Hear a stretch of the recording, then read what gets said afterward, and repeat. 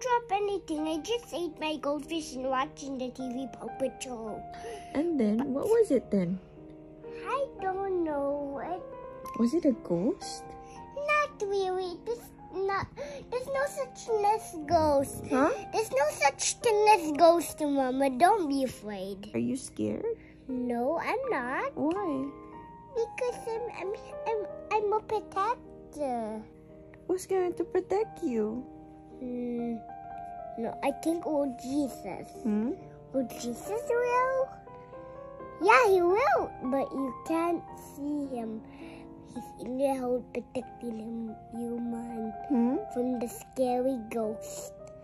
Not scared anymore. Hmm.